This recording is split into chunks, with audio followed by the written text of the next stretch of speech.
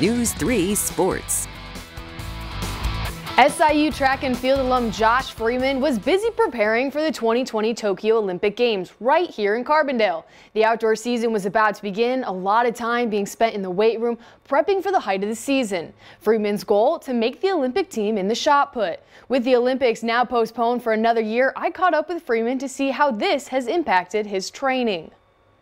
I was kind of coming into what I thought was probably the best shape that I had been in uh, since 2017, which was my best season, uh, my first year after I had graduated, and uh, had been practicing better, training better. The weight room's been better. Everything was better, and um, you know we were, we were finally starting to stick and hit a groove, and and uh, things were really clicking. And then obviously all this happened, um, but it wasn't like again, it's not like I'm terribly upset about it. Again, it's like a little bit of a relief um, because now it gives me another year to to just get that much better and continue, you know, with this this groove that we found and everything that we found out.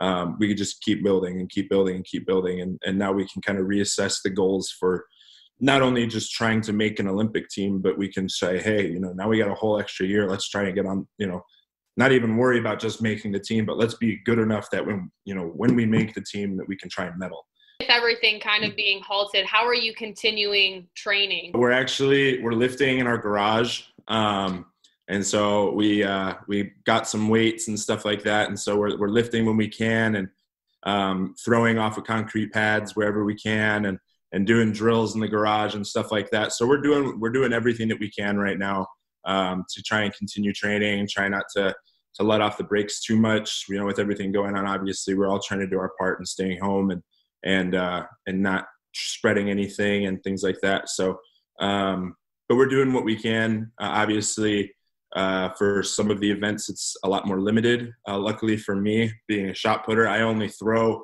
you know between you know zero and 75 feet at the farthest. So finding a spot for me to throw is a lot easier. Just trying not to to necessarily lose what we've gained um, over the last six seven months of training uh, that's that's the biggest part is just trying try not to regress any you know at least hold where we are do what we can to stay where we're at. And that way when we do get back to full training time um, we can just continue from there